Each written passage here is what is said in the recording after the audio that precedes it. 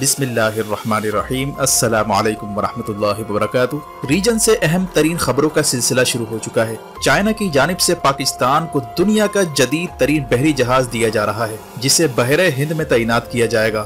جبکہ بھارتی جنرل بپن راوت نے حالیہ اقدام انڈیا کے لیے خطرہ قرار دیا ہے۔ دوسری جانب بھارتی ریاست اتراکھنڈ میں نو سو کلومیٹر روڈ کی تعمیر پر نیا تنازع کھڑا ہو چکا ہے۔ لینڈ سلائڈنگ اور سیلاب کے خطرے کی وجہ سے سپریم کورٹ نے روڈ کی تعمیر روکنے کا حکم جاری کیا تھا۔ لیکن بھارت کا کہنا ہے کہ اگر یہ روڈ تعمیر نہ ہوئی تو ہم چین کے ساتھ جنگ نہیں لڑ پائیں گے اور جنگ کی صورت میں چائنا کے بارڈر پر میزائل نہیں پہنچا سکیں گے۔ اس کے ساتھ ہی امریکی اسٹیٹ ڈپارٹمنٹ کی جانب سے رپورٹ ریلیز کی گئی ہے کہ چین اتر پردیش میں مستقل پڑاؤ ڈالنے کے لیے بستیاں تعمیر کر رہا ہے۔ بھارتی جنرل بپن راوت کی جانب سے اس خبر کو مسترد کرنے پر امریکہ نے بیان دیا ہے کہ اگر انڈیا نے چین کے آگے اپنی آنکھیں بند کی تو انڈیا کے کئی علاقے خطرے میں پڑ سکتے ہیں۔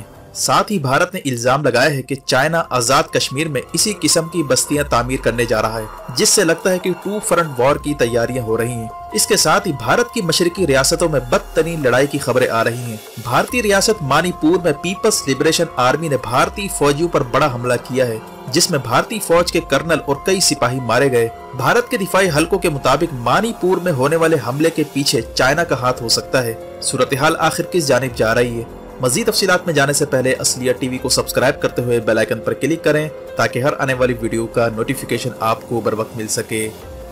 ناظرین کرام، ریجن میں تیزی کے ساتھ حالات بدلتے جا رہے ہیں۔ چائنا نے گزشتہ دنوں اعلان کیا تھا کہ بھارت کی فوجی مشقوں کے جواب میں چائنا نے اپنی فوجیں انڈیا تبت بارڈر پر پہنچانا شروع کر دی ہیں، جس کا مقصد چائنا کی فوج کو جوابی حملے کے لیے تیار کرنا ہے۔ اسی اصلہ میں افغان طالبان کا اہم ترین وفد کا تین روزہ پاکستان کا دورہ بھی ہوتا ہے، جہاں بھارت کے دہشت گرد نیٹ ورک کے خلاف فیصلہ کن کاروائی کے لیے طالبان نے حمایت کا یقین دلایا ہے۔ اور یہ بھی کہا ہے کہ ٹی ٹی پی کے جو لوگ سرنڈر کرنے کے لیے تیار ہیں، ان کے ساتھ تو مذاکرات ہوں گے، لیکن جو ہتھیار نہیں ڈالیں گے، ان کے خلاف بھرپور آپریشن ہوگا۔ جبکہ افغانستان میں حالیہ دھماکوں کے پیچھے ان عناصر کے ملوث ہونے کا بھی شبہ ظاہر کیا گیا، جو پہلے این ڈی ایس اور انڈیا کے لیے کام کرتے رہے ہیں۔ اور جنہیں انڈیا پاکستان مخالف حملوں کے لیے استعمال کرتا رہا ہے۔ اسی لیے بڑے پیمانے پر طالبان کے اندر اسکروٹنی کا عمل بھی شروع کر دیا گیا ہے۔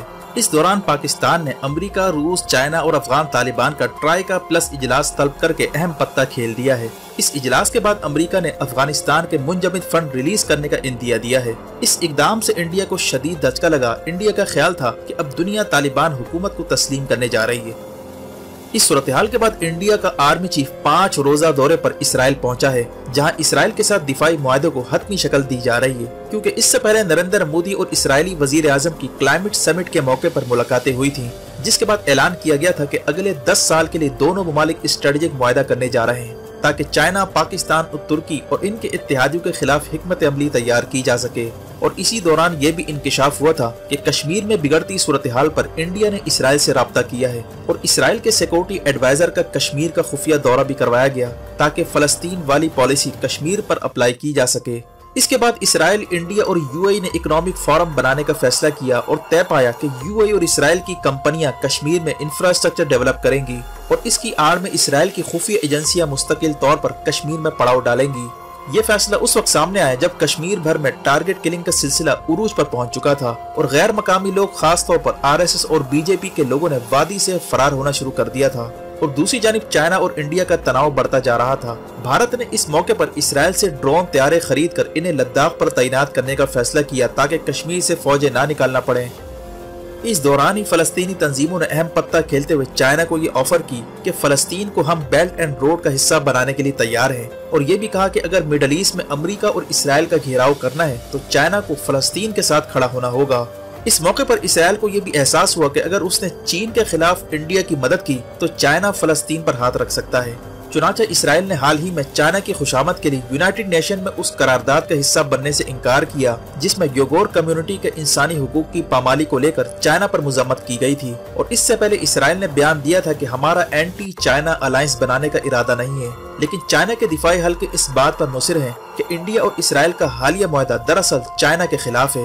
جبکہ اس کے ساتھ ساتھ انڈیا نے اگنی فائیو میزائل کا تجربہ کیا اور لداخ پر اضافی فوج بھیج کر ملٹری ایکسرسائز کا آغاز کیا، جس پر چائنا نے انڈین بارڈر پر ملٹیپل ڈرلز اسٹارٹ کی تاکہ جوابی حملے کے لیے چینی فوج کو تیار کیا جائے۔ جبکہ دوسری جانب چائنا نے پاکستان نیوی کو جدید ترین state of the art type 054 نامی بحری جہاز دینے کا اعلان کیا، جسے انڈین اوشن میں تعینات کیا جا رہا ہے تاکہ بھارت پر نظر رکھی جا سکے۔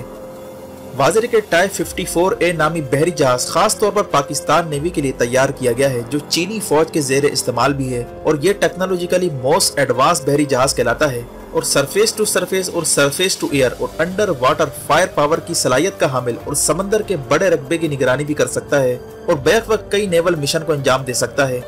پاکستان واحد ملک ہے جسے چائنا نے یہ جدید ترین بحری جہاز ایکسپورٹ کیا ہے اور اہم بات یہ کہ اس جہاز کا نام تغرل رکھا گیا ہے۔ تغرل کا شمار ترک امپائر کے بڑے فاتحین میں ہوتا ہے، جو سلجوک امپائر کے بانی ہیں۔ اس بحری جہاز سے طاقت کا توازن بدلنے جا رہا ہے، جبکہ پاکستان نے چائنا کے ساتھ پانچ بلین ڈالر کی ڈیل بھی کر رکھی ہے، جس کے تحت آٹھ آبدوزے بھی پاکستان کے حوالے کی جائیں گی۔ بھارت کے دفاعی حلقوں نے خدشہ ظاہر کیا کہ حالیہ اقدامات انڈیا کے لیے خطرہ بنتے جا رہے ہیں۔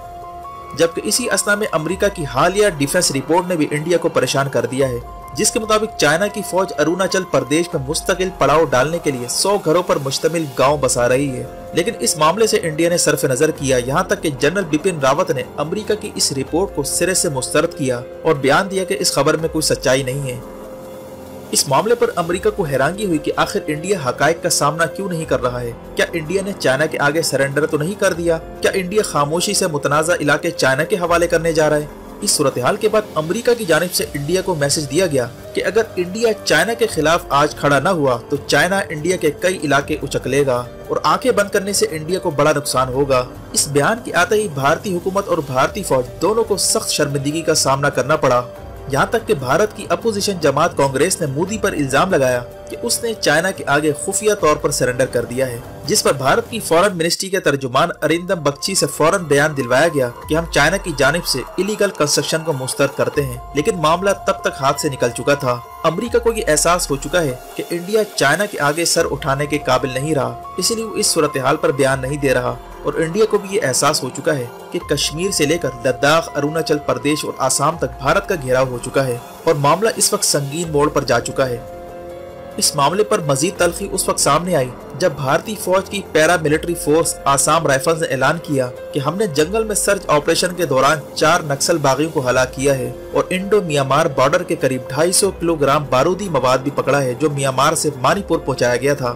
انڈیا نے خدشہ ظاہر کیا تھا کہ چائنا انڈیا کے خلاف میامار سے نیا فرنٹ کھولنے جا رہا ہے۔ اور پھر دیکھتے ہی دیکھتے اگلے ہی دن مانی پور میں اچانک بھارتی فوج کے قافلے پر زبردست حملہ ہوتا ہے، جس کے نتیجے میں بھارتی فوج کا کرنل اور کئی فوجی مارے جاتے ہیں۔